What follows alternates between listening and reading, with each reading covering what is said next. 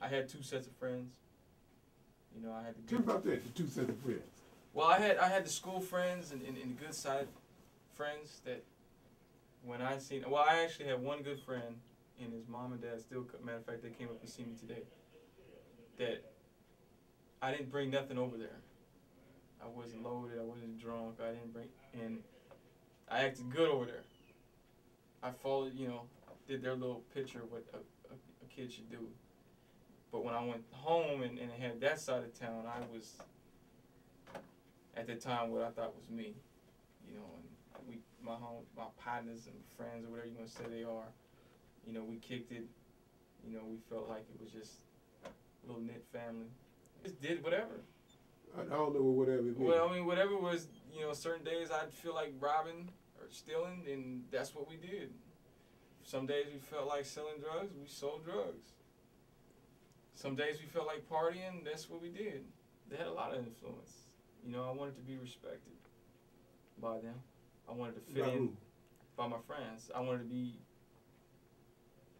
I want to have a name in, a- in, in a sense, you know. I wanted people to, to, to hear my name and knew who I was and, and, and what type of person I was, you know.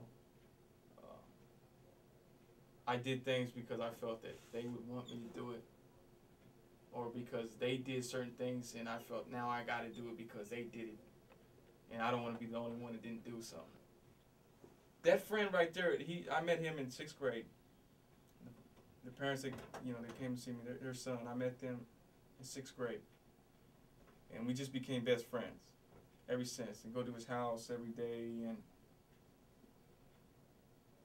and you know we everywhere he went i went wherever i went he went and right now he's in, in, in idaho with two kids about to have i just found out he's about to have another one he's got his, he's got a wife that i knew that they were going to get married the first time i seen them together Yeah.